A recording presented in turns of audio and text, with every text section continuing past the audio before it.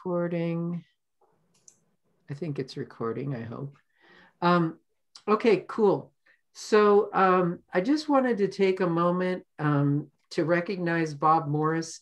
Um, Bob Morris uh, was a member of the Audubon Core um, uh, maintenance group core members since the beginning. He, he's you could call him sort of the father of Audubon Core. He was the lead author of the original standard, and Audubon Core probably would have never happened if it weren't for him. He was in declining health for the last year or so, so he, you know, he technically he was still on the um, the maintenance group, but he really wasn't able to participate due to his health. And he passed away uh, about a, I don't know, several weeks ago. So I just wanted to recognize him and his contributions to um, TDWG in general and also to Audubon Core in particular. So um, the so basically the the only thing on our agenda is just to basically to talk about our experience with these uh, test image sets and um, you know how we feel um, using the controlled vocabulary terms that we have so far would work with them and so i thought i would just go ahead and start first by sharing what i did um, let's see. Yeah, so so I basically used uh, two different data sets. And the first one was this plant data set.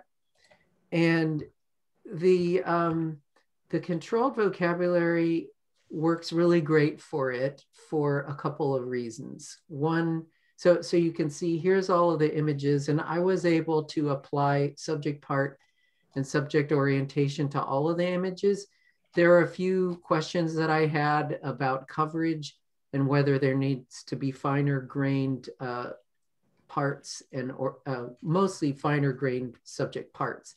And that is something that we can discuss.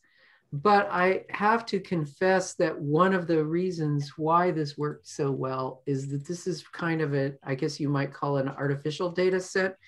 Um, this is actually a data set of images that I put together for a paper that we wrote on standardizing images of live plants. So if you look at these, everything is like oriented perfectly. Every lateral view is exactly a lateral view and everything is oriented in exactly the right direction. And every picture of the whole organism has the whole organism in it. And every picture of the inflorescence has the whole inflorescence in it. So if you have people who are taking pictures of live organisms with the intention of making them be somewhat standardized, then applying these standardized views is not really that hard. Now, if you go to the actual just sort of random images in the wild, which is what we see with the fish data set, then things get way more complicated because first of all, we have these images that are from publications that are not separated out into um, they're, the individual organism images are not separated. And this is a point of question, like in the larger Audubon Core maintenance group, we're looking at some things like how triple IF designates using fragment selectors, how we might designate parts of particular images. So I think if one were able, if we are able to implement that, then we'd have the possibility of, of providing like a, a, a pixel range for a rectangular box on the image. And then we could say that the view applies to that as opposed to the entire image. We don't have that, but that's certainly possible uh, for these sort of composite images.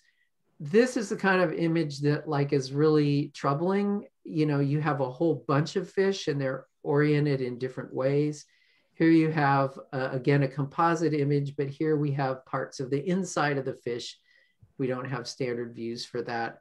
Here we have an image that doesn't even have, well, I don't know if this is a single species. I guess these are juveniles and adults. So we have different life stages.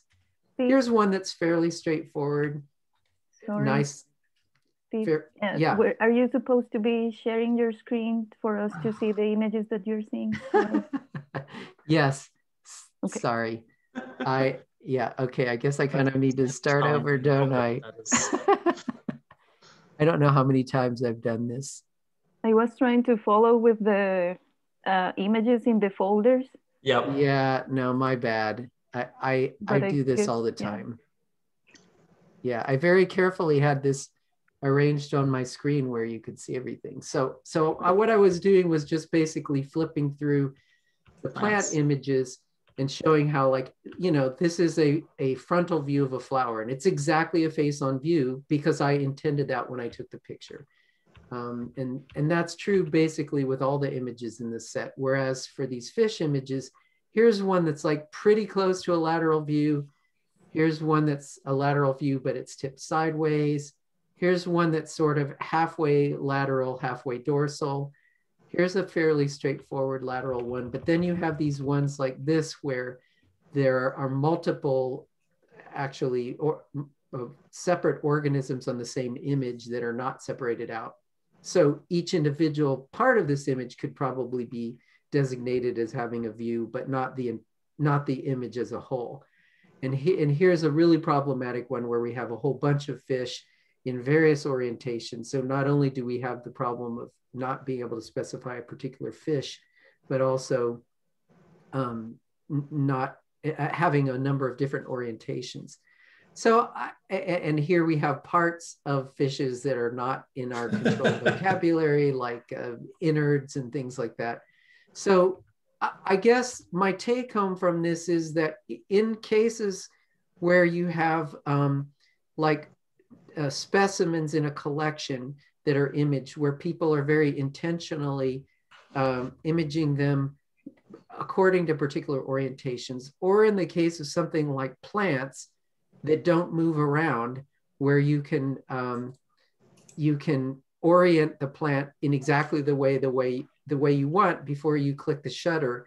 It it becomes a reasonably easy task to assign these parts and orientations. Whereas on something like fish, where they're swimming around and you just have to click the shutter whenever you can, it's a it's a lot um, a lot more difficult task.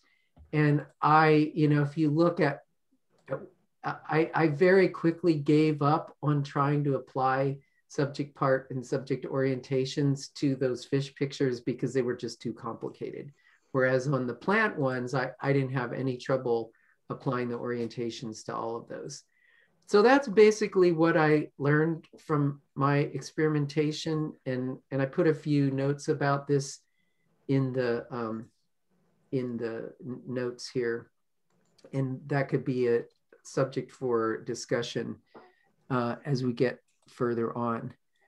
Um, I am going to enable screen sharing. And, and I'm just wondering, like Jennifer, would you like to talk a little bit about what you uh, discovered?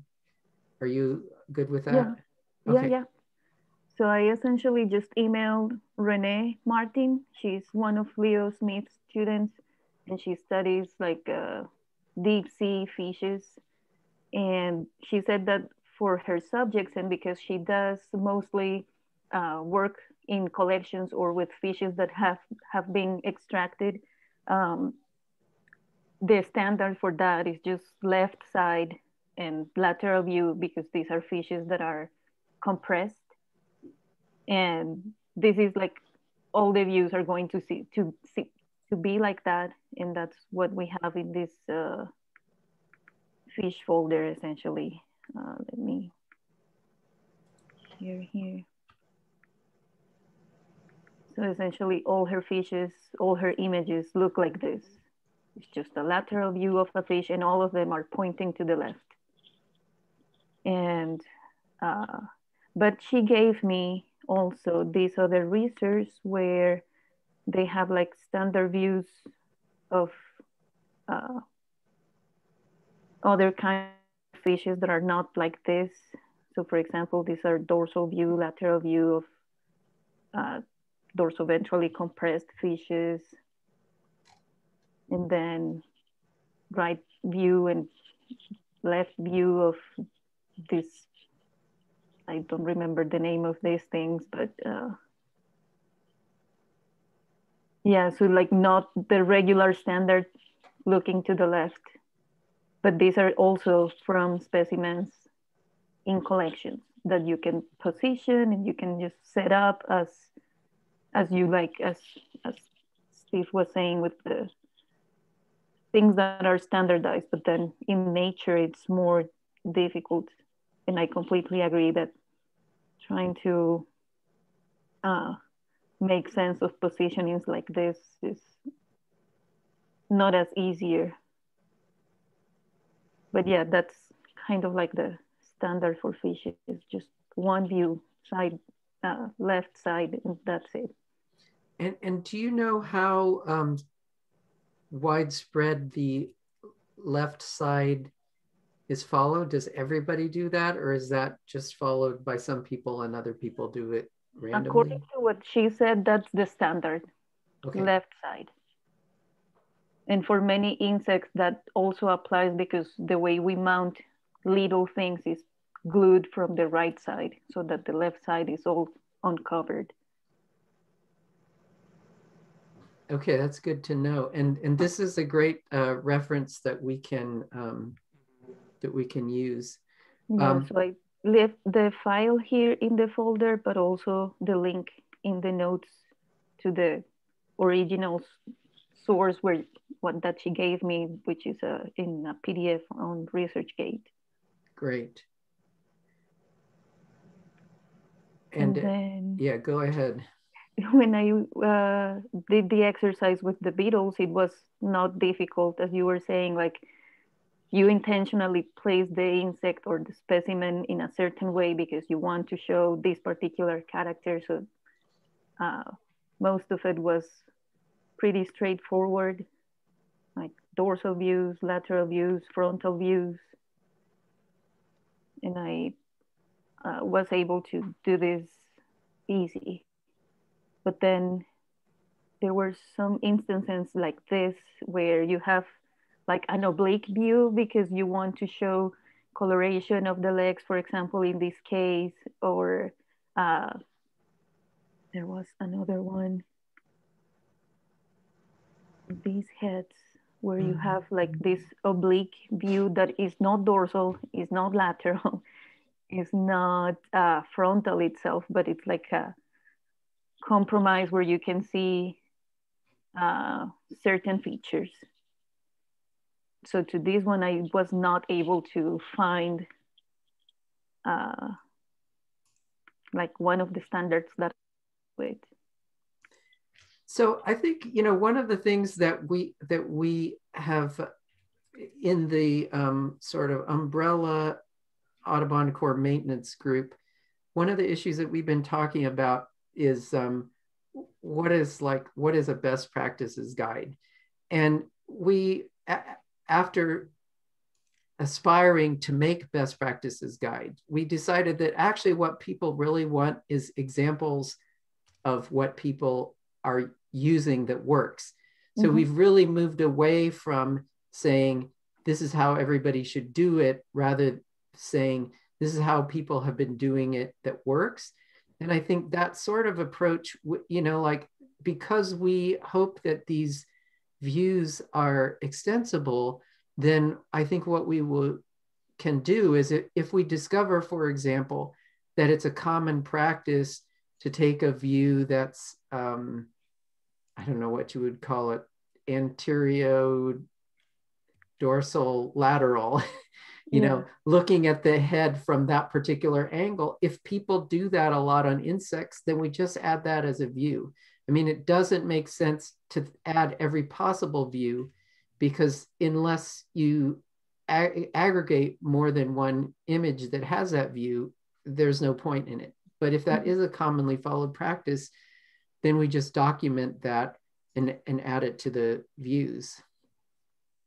okay yeah, and the other little issue that I came um, was that I'm not entirely sure if these are dorsal views or ventral views of the wings because mm-hmm. essentially you see it the same way either in either orientation.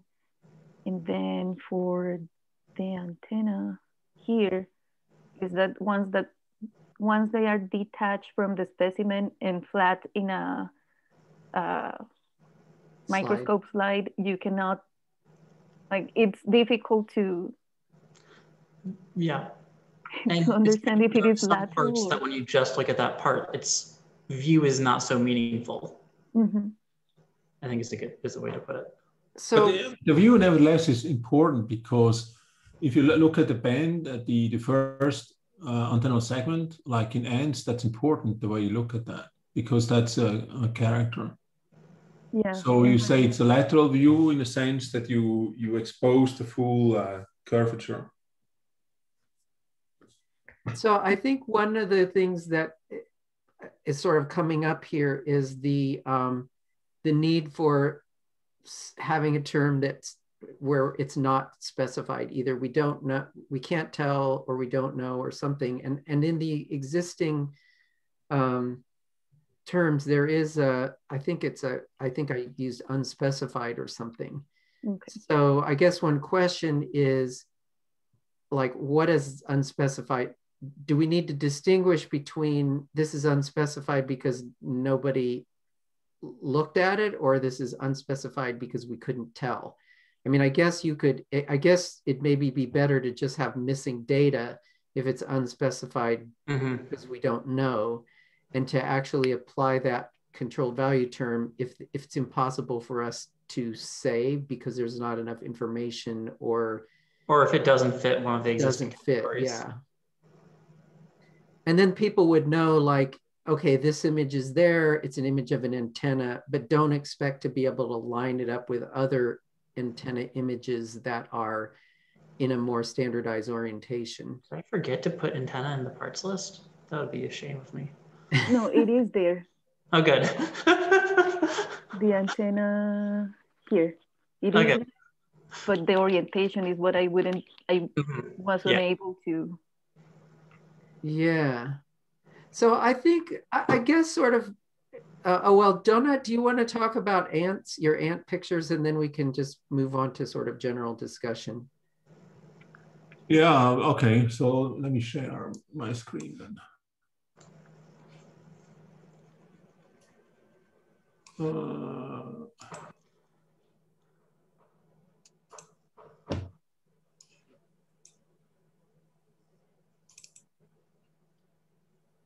when I did not code these things, I should should have done. So I didn't look at the vocabulary, but I added all the the views for these ants and also for Fabricius types, so you can look at them. So essentially, it's like Jennifer's it's it's a lateral view and it's left side. It's a label normally given. It's in this case, which is a bit more extended. That's why I took it too. It's a, a ventral view of a head. It's a full frontal view of a head, which is always like a standard.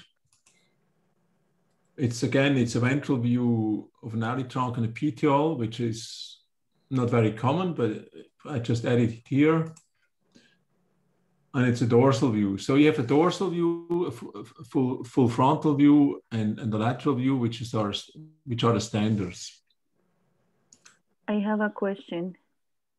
Are these yeah. when when you have the full head? Is this frontal or dorsal?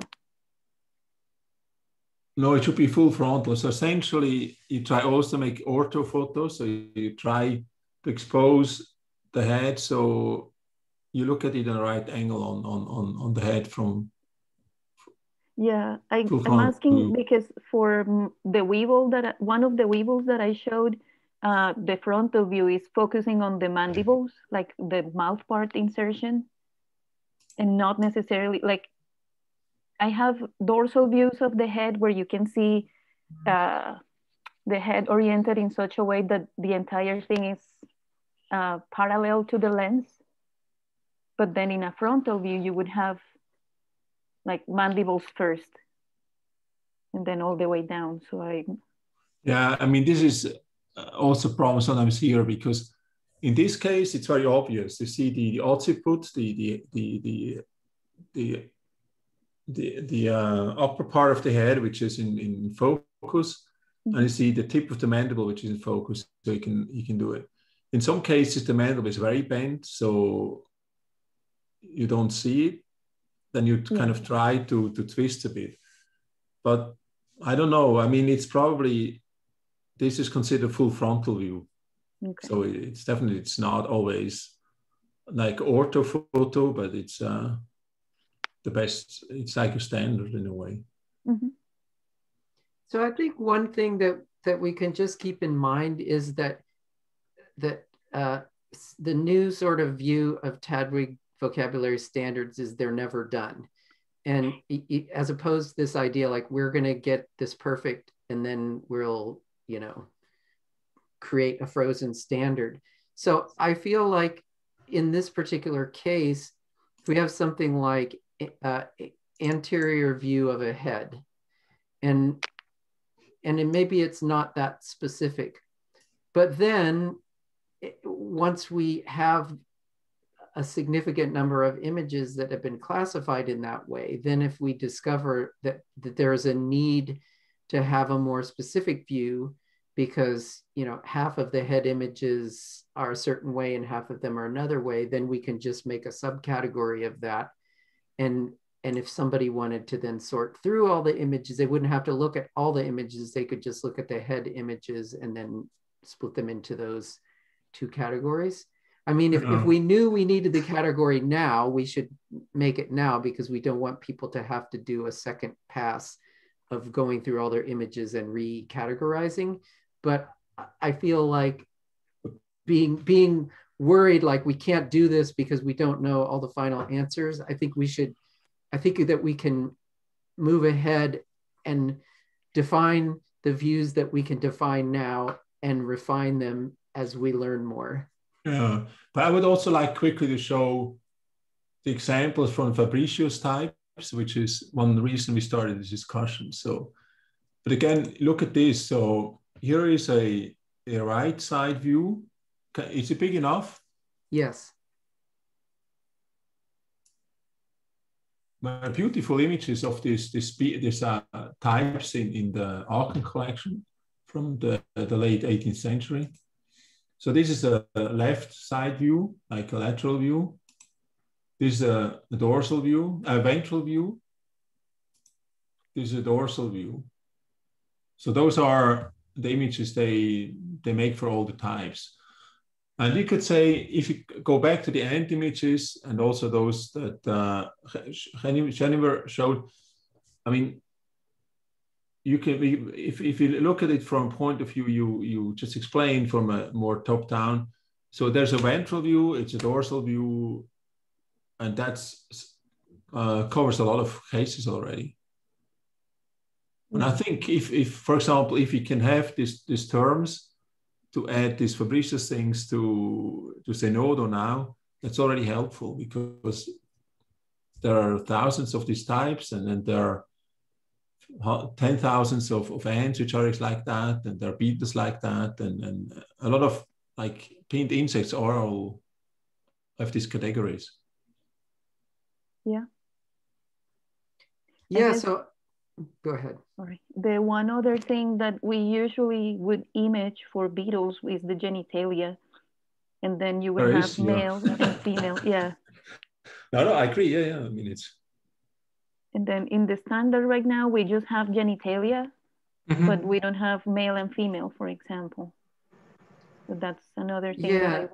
So I think as a subcategory. Right. I, I think this is, I mean, it's a very similar thing with like flowers. There are, are in plants, some of them have dioecious male and female flowers, and some of them are hermaphrodites. And if they're dioecious, then you want to be able to say which kind you have. So I think, you know, one of the questions that I had is like, what does it mean in SKOS to say that you have like a, a, a parent? I don't remember what the term is a broader a broader category. And i think SKOS is like very loose about that.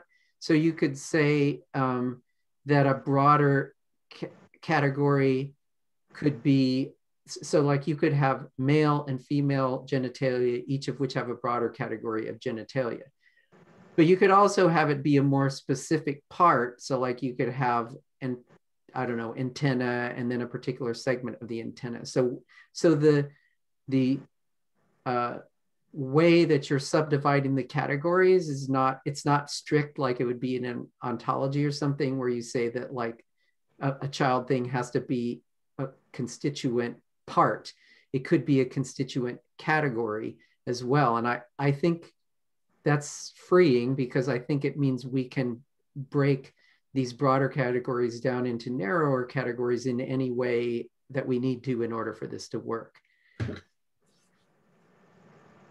I, I think that people aren't going to people wouldn't be as picky about that as they would be if we were defining like a formal ontology. Mm-hmm. We're just basically saying like, you know, if you could just say genitalia, but you can also break it down finer if you want.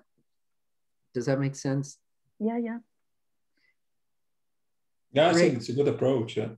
So I feel what what I would like to sort of do at this point now that we have you know kind of run these tests is to say d- does this the way we have it set up essentially work I, I there are obviously cases where it doesn't work as well like the the live fish for example but there are a ton of use cases like the pin like the specimen the photograph specimens or carefully uh, photographed live plants and things like that, where it actually does work quite well.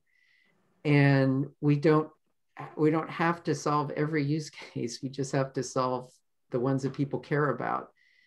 And so what we actually we make a differentiation on between wildlife photography and, and this scientific photography in a sense that these which are based on protocols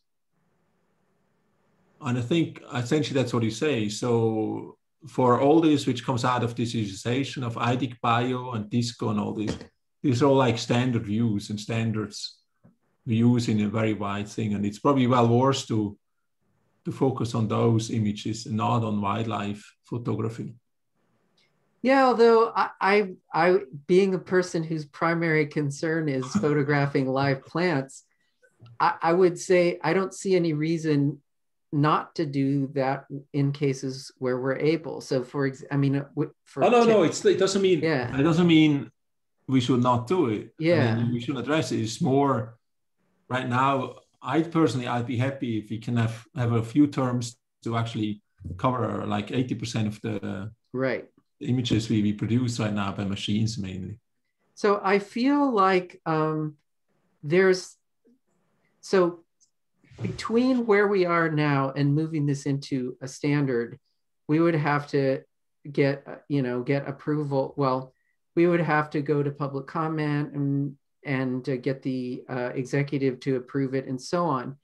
But I I don't feel like there is a problem given that we have um, designated namespaces for these and you know, I've given up on the idea that like local identifiers should mean anything. These are just these are just sequential numbers, and there I don't see any reason why we should change what we have now because if if we try to make them systematic, like having all of a certain kind of uh, you know view in a, some certain sequence, then that's just going to break in the future when when we add more because we will be adding more. So in that sense, I think unless there's something wrong with the ones that we've already defined, I don't see any reason why uh, we couldn't just say, go ahead and start you. I mean, we maybe should talk a little bit about uh, uh, uh, how to um, specify them. Like, for instance, I, I, feel like specifying the full URI is probably the safest thing just because I mean, you could do abbrev the namespace abbreviation colon thing, but I, I think, you know, what's a couple more bytes in a string? And so anyway, I, I feel like we could, you know, if you wanted to go ahead and use these designators that we have already and start putting them in Zenodo, um, the fact that they're not a standard yet, I, I don't think should be a problem necessary, particularly if we try not to change what we have right now between now and when it would become a standard. And I think one of the things that's really irritated me in the whole TDWG standard process is this idea of developing standards before you know that they work.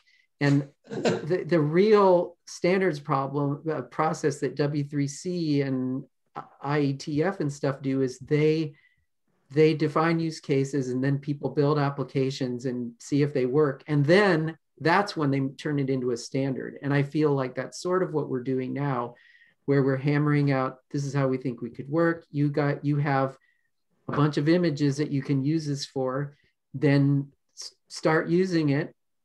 And that would make it even the more compelling case when we get to the ratification process to say, this isn't a pipe dream. We're already using this and we know that it works. So I, I feel like it, you know, if you guys agree with that, that we should just move forward and try to flesh out the uh, vocabularies as we have them now for the groups that people have ex- cared enough to participate in, which would be ants, beetles, live plants, and fish. And if that's all that we do right now, then that's what the standard will oh, it's be. entire. You know, I, I, think it's already covered for butterflies if we cover beetles because they're even simpler.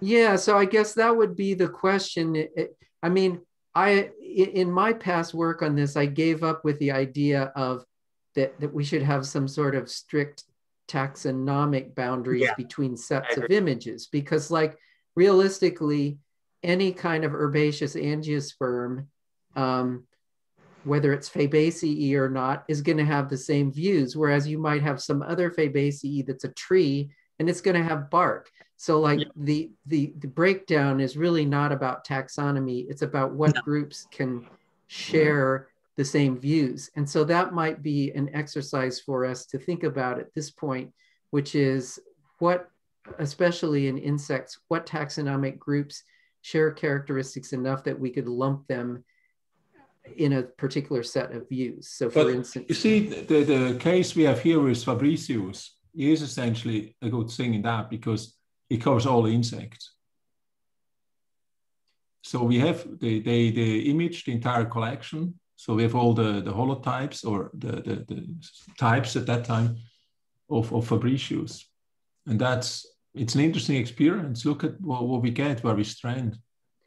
So we start with these beetles and, and, and ants, and then we'll, we'll see.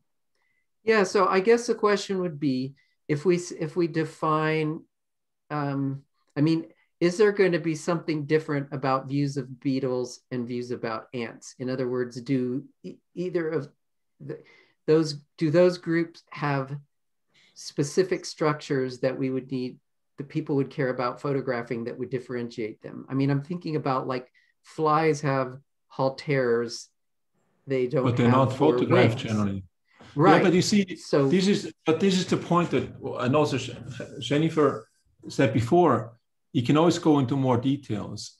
You can yep. always add things, but I personally I think we should rather go and say, okay, we use like the most common views and start on that, and then we can add more to it.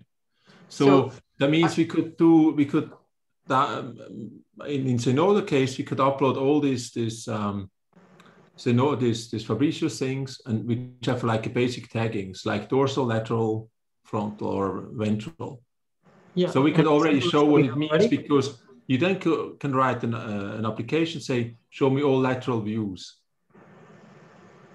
So I mm-hmm. think the that what we can aspire to at this point is stability in the actual um, organism part and organism view identifiers.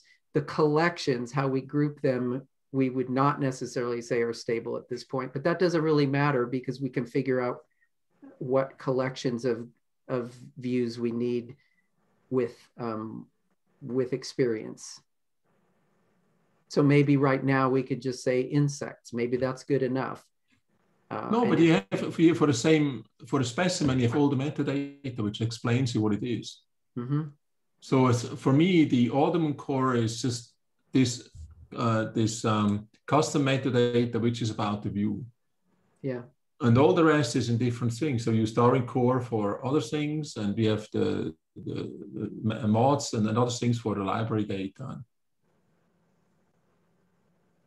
So what sort of form I mean, I can turn these things into JSON that you could give to your, uh, you know, application programmers, and they could read that in, and and you know, it would connect the strings like dorsal with the URIs that we're assigning to them, and then they could uh, do, you know, like string matching or whatever if they wanted to. Is that would that be the next step then? What would you want to make to move forward on this? Um, well, we need the terms so that we can we can uh, create custom metadata, To say like Audubon, and and and just a couple of examples how you want to see it and how we have to cite it. Yeah, so I guess one question that we haven't really dealt with is um, the the existing terms are not clear about whether they take literals or whether they take URIs. For, for many of the other Audubon core terms, they're, they're in pairs. So you have, uh, um, I've, I'm blanking on the names of terms, but you see them throughout Audubon core, blah, blah, blah, and blah, blah, blah, literal. But for subject view and subject orientation, we don't have that. So maybe what we need to do is to fast track um, this in the regular maintenance group to add. To, so what I would propose is that subject part and subject orientation in following the pattern with other terms would be used with a URI. Then we would have subject part literal and subject orientation literal, which would allow people to use the controlled value strings that we define um, and, and I think that that would follow the design pattern that we have with other terms and and we could fast track that pretty fast. So what that would mean for you, Donna, would be that when we define these URIs, your, your vocab Audubon core vocabulary term that you'd use would be subject part, and its value is going to be a subject part vo controlled vocabulary URI. And subject orientation is the term, property term, and then the URI from the subject orientation controlled vocabulary would be the value. And that would, and for people who use spreadsheets and freak out about use URIs, they could use the controlled value string. But, um, you know, I, I, personally think URIs are better just because this issue of capitalization and people doing snake case instead of camel case and all that crap. You see, the, what, what, what you have to talk to Marcus about these things, the technical. But the way we do that, like, can you see this this example? Is it big yeah. enough? Okay. So what we intend to do is to use custom custom keywords, is custom metadata. You see there is a term host of, and it refers to this uh, OBO term. So we want to say like lateral view and refer to, to Audubon core. And then we can spe specify the term. Yeah, well, so the host of is the term, and then you, they and then it has values, right? So what yeah. we would be get your term instead of host of would be Audubon core uh, subject part, and then your values would be URIs from these lists of URIs that we're collecting. Exactly. And then there's another one which is subject orientation, which is important. Right. So and that so that we have that term already, and that that would be the uh, property that you're showing there, and then the values would be the URIs from the subject orientation uh, controlled vocabulary that we've created. So I think we're I mean like we're there basically. So I think how does it look? Uh, maybe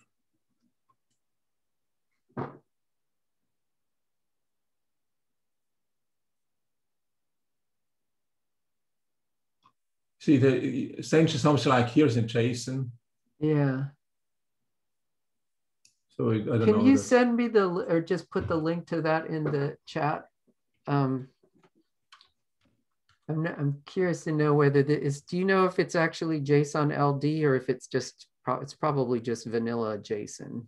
Oh, this is, this is, hold on, this is JSON LD. Oh, okay. All right, that's, that's good. Yeah, JSON LD. Okay, great. Because then, you But know, it's then not we're, JSON. Huh? sorry, go ahead. I think JSON LD is not as comprehensive as JSON but that's some you. But if they're using JSON LD, then that means their structure is compatible with, with what we're talking about here. That Yeah, you're going to have sure property and values. So, so that should all be good. So if you can, if you can write sort of a feature request, sort of, I mean, write this together what we just talked, then we can submit this to our colleagues at Zenodo and they can implement this as custom metadata. That'd be cool. Okay, great. And then we have to find a student who goes through all the, or see how we can actually automate the linking or tagging all the images with these terms. I mean, if they already have um, somewhere in the metadata have things like dorsal and ventral, whatever, then there's there's probably some string matching Uh, probably somewhere. that could yeah. No, at least partially should- automate the process. Hi, Rich. Good morning. Hi, Rich. Sorry, I was on mute. Yeah, good morning, everybody. I was actually up. I was just being interviewed by the Guardian. So, uh, Oh, cool. and so now I'm jumping from meeting to meeting. I just got your email. I, I, I, I know I missed the whole show, but you suggested I should maybe join because it involves live fishes, which always gets me excited. So, Yeah. So, and and I just wanted to mention I'm recording this because one of our participants can't be here. So, uh, I hopefully you're okay with that. oh, absolutely. In fact, send me the link because I'd like to see what I missed. Oh, okay, great. Yeah.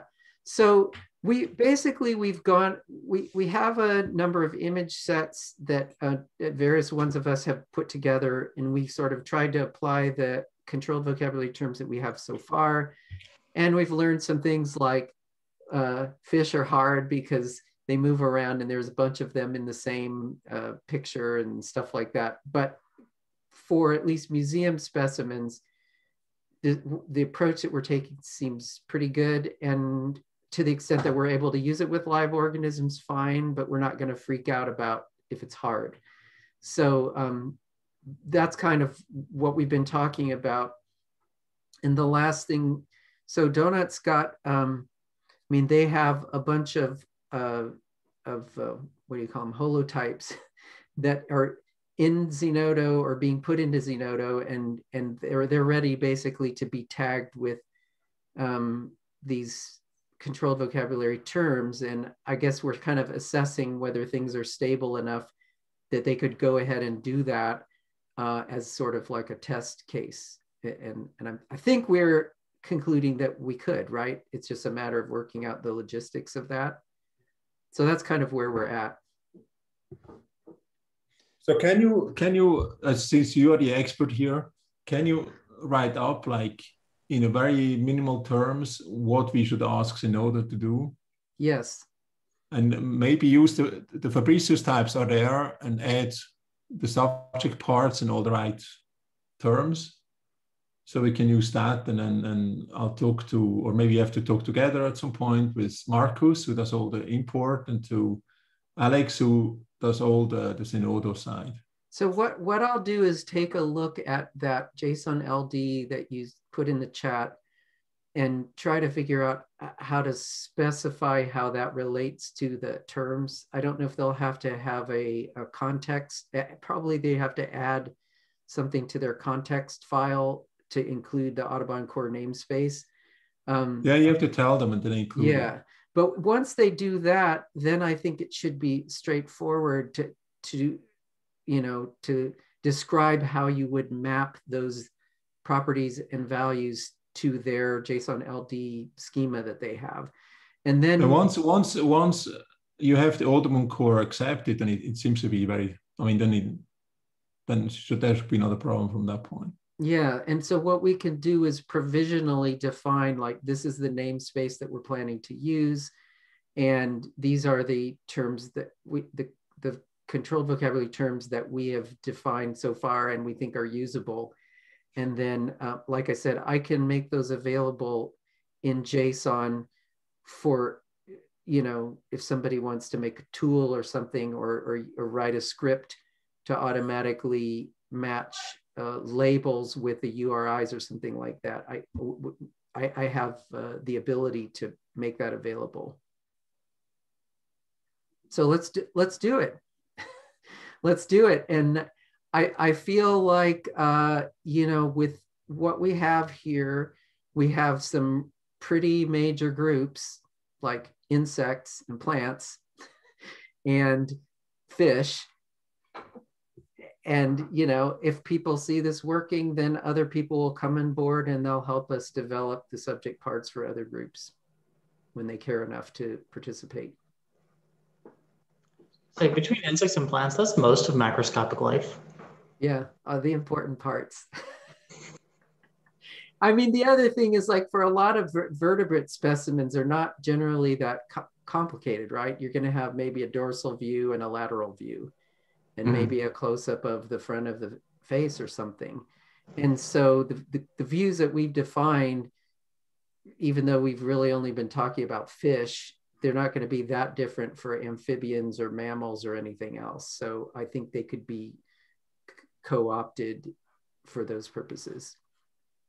So I wasn't part of most of this meeting and most of the Audubon core discussions, but has it been discussed that MorphBank had worked a lot of this stuff out, especially for fish, like you know different views and things like that, or is that kind of going to the wind? Well, so I'm aware of that. So one of the things uh, for for the benefit of the other meeting participants, the the examples that I gave for plants are actually directly from a morph bank page. So I was involved with um, submitting live plant images to morph bank and the problem with the morph bank system was that anybody could define their own views. And a view consisted of like 10 different characteristics. So by the time a person defined a view with all the possible characteristics, your image, your one image that you applied it to would be the only one in the database that had that view. And so it really was, so part of my effort was an attempt to standardize this and say like, if you plants orientations. And so that data, that photo set that I used here was actually one that I used in MorphBank. And there's a, um, there's a, so Bruce Kirchoff and I wrote a paper on standardized views for live plants, and it revolved around that. So, Steve, I, I think your microphone got bumped or something because you suddenly got really quiet. Yeah. Can you hear me now?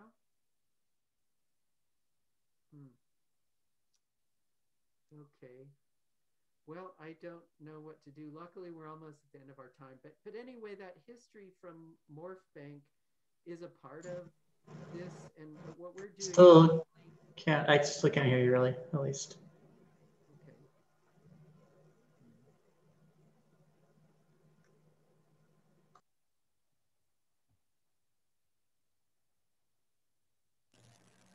There was kind of a loud noise and then it went quiet, almost like your jack got bumped or something like that. Yeah.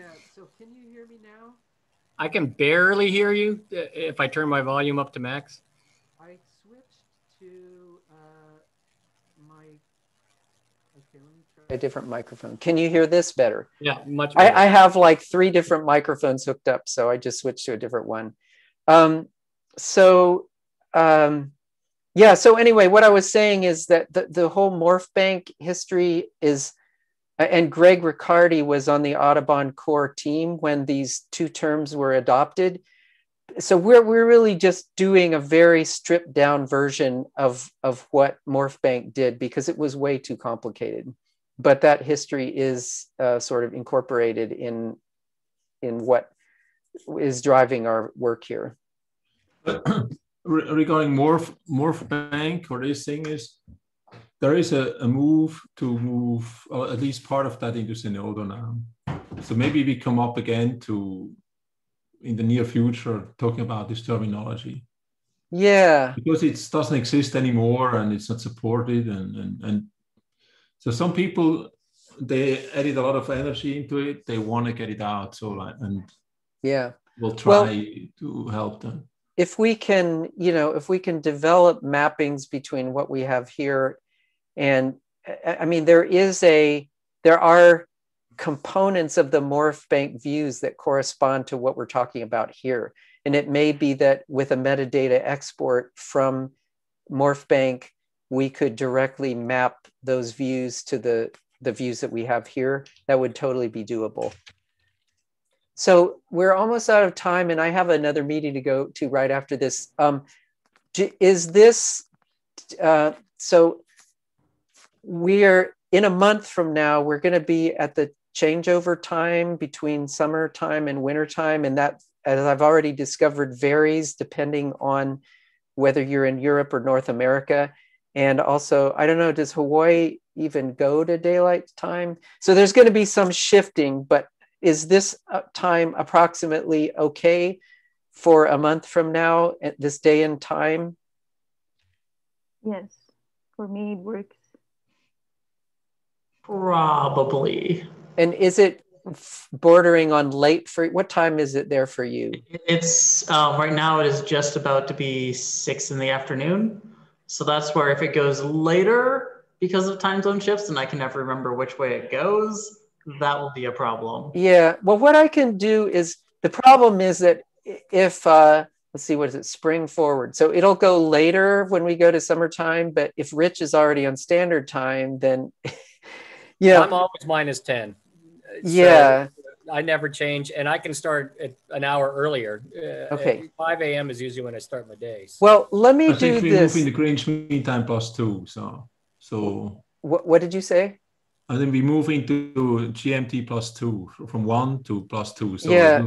seven o'clock here. So so what I can do is if this ta- if this day of the week is okay, I can go to the time zone planner and try to plan the time such that it doesn't go doesn't start past five. That's when you started, right? That would mm-hmm. keep it out of like dinner time. It's not optimal, but it would keep it from being closer to the middle of the night if Rich wants to participate. Don't and, don't worry about me because yeah. a I'm used to dealing with weird times, you know, and b I I guess uh, I'm not even sure what this group is relative to the other Audubon core group that we just this this about. is spoke this is focused entirely on subject parts and subject orientation controlled vocabularies. That's okay. it. Okay. Well, and, I will join when I can, but I certainly yeah. wouldn't schedule it around Hawaii time zones. Okay. So what we'll do is we'll just keep you up to date. And I mean, what we what I would like to do from this point forward would be to take what we have developed and try applying it within people's databases um, and and see how it works. Uh, and I have like 15,000 live plant images that I could apply it to in my bioimages website. So let's try it out. And then I think we could be within a few months of being able to, um, to move this towards ratification. But I think at this point, what we want to do is test it out more. So I'll, I'll suggest a time that roughly corresponds to a Wednesday a month from now, no later than five o'clock at whatever the prevailing Central European time zone is, standard or summer on that day. And then I'll uh, just send out an email. Well, thanks everybody. I'm super excited. I feel like I feel like we could be done with this task by the next TDWG meeting, and that would be really awesome. Okay, so again, send send the send this so kind of feature request, and I'll, I'll yeah get it done on the and and I will uh, save. I'll upload the recording to YouTube and send the link to. Um, well, I'll just send the link to the names that I have on the list um, which, and I'll add you to that, uh, Rich. Okay. All right. Well, thanks everybody, and we'll see you next time. Bye, everyone. All right. Bye. Bye.